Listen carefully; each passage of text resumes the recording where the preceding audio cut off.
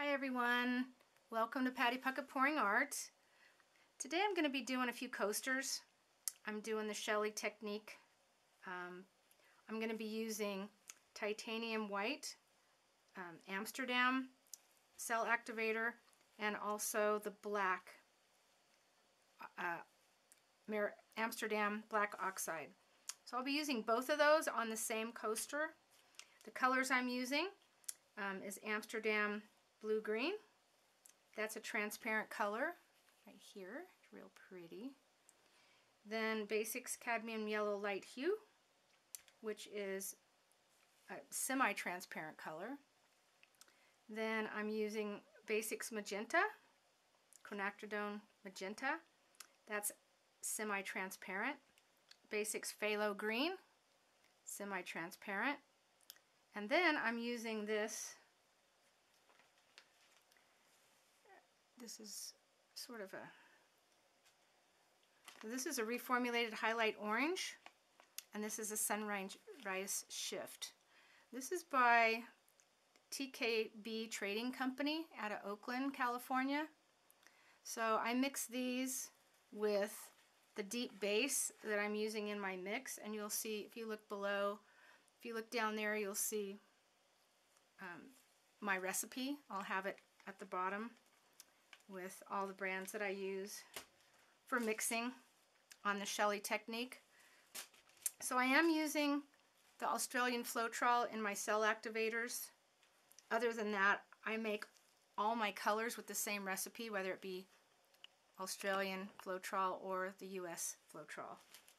So um, it's an iridescent shift. I just mixed it with the deep base and some some, uh, use this, Jo Sonja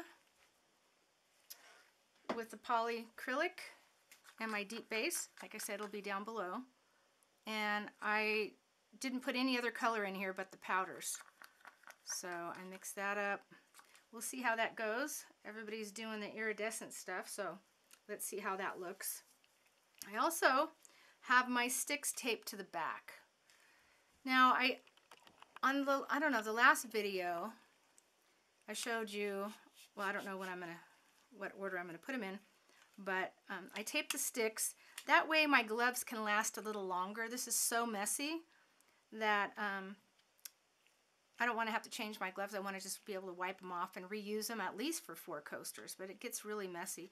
This helps stay off your glove, and at the end, I just grab it and twist the sticks off. I left a couple the last time on while it dried, and as it dried perfect, it was just harder, even though just harder to get the sticks off, and I want to be able to reuse the sticks, so you need to wipe them off when they're still wet or they're going to have bumps in them, and then it won't dry.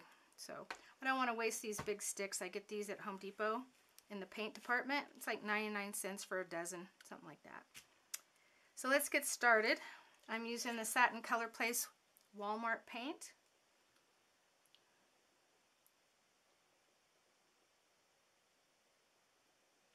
I'm just going to go ahead and speed you up right here. And if you haven't looked at any of my other videos on this technique, please check them out. I'll put a card that you click on and it'll take you to I have a playlist. All right, let's get going.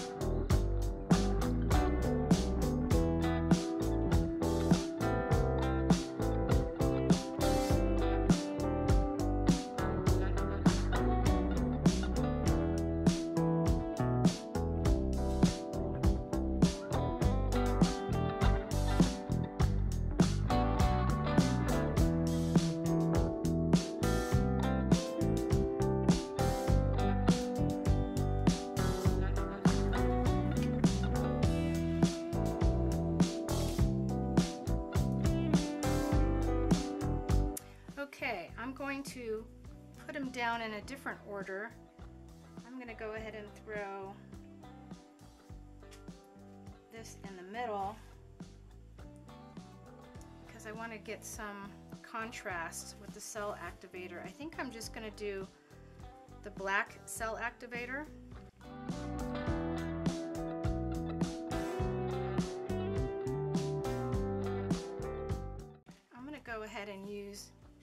Blower on this one. see how that turns out. So.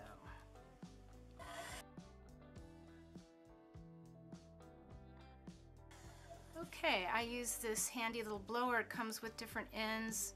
I've used this for Dutch pours too before. This is a nice little, and the key is to hold it up high so you're, you're able to come down slowly with it to spread out that cell activator. Pretty. Lots of cells, but let's see what see what happens.